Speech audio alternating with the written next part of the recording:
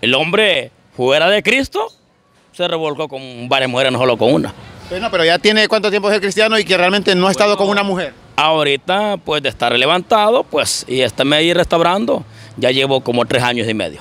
Tres años Sí. y medio y sin estar con una mujer. Y sin estar con mujer. ¿Se está quemando entonces? No, no es que me esté quemando, porque ya quemándose cuando alguien ya entra lo que ya es momentos íntimos de fornicación o masturbación. No,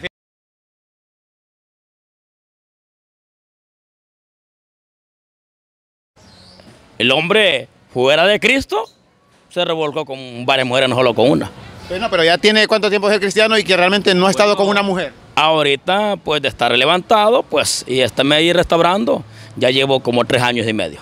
Tres años Sí. y medio y sin estar con una mujer. Y sin estar con mujer. ¿Se está quemando entonces? No, no es que me esté quemando, porque ya quemándose cuando alguien ya entra lo que ya es momentos íntimos de fornicación o No, masturbación. prefiero quemarse por dentro. O sea, si usted no está con una mujer, significa que tiene las ganas físicas, porque sea como sea, aunque sea, sea cristiano, tiene ganas físicas. yo le entiendo, que yo le entiendo muy bien, pero cuando Pablo se refiere que el que se esté quemando, mejor que se case, Pablo no se refiere que, que, que se está quemando por dentro, porque el deseo no viene, el deseo viene de adentro, es cierto, pero también cuando uno está en fornicación, masturbación o sueños húmedos.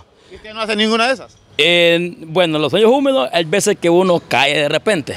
Sueña, eso es- sueña que está con Es un alguien pecado, porque tampoco... eh, mojado, sí es pecado. Porque es pecado un sueño húmedo si es inconsciente. Porque es un sexo fuera del cuerpo. Es inconsciente. La Biblia dice en Corintios, en, en el primer libro, 6, 18, que los sueños, lo- dice que hay una fornicación fuera del cuerpo. Y ese es pecado. Ese es Pero ¿cómo lo puede controlar usted? ¿Cómo No. podemos controlar? Es decir, si estamos durmiendo, la durmiendo... única manera para controlarlo. Uno siente cuando ya va a querer eh, casándose. eh, hacer esta cosa o, o cometer esta cosa. Entonces, gente, cuando uno tiene que hacer, entrar en oración. O leer la Biblia o relajarse en otra cosa para no caer en la trampa. Es la única manera. Sí, porque peligroso se va a la masturbación. Y si se va a la masturbación, papita, se va al pecado. Correcto. Sí. ¿Usted sigue siendo pecado entonces el sueño húmedo? No, porque ¿Es si- pecado o no es pecado? es pecado. Pero yo le oro a Dios antes de acostarme. Le digo, Señor, permíteme que yo no vaya a caer en pecado ni de sueños húmedos, ni de masturbación. Voy a descansar, voy a dormir y espero que así como voy a descansar, me levante el día mañana sano y vivo. Al fin hay prospecto, es decir, novia para casarse entonces. Todavía no tenemos la, la- la muchacha, la indicada, porque no hemos llegado al punto ni de, ni de la novia tan siquiera.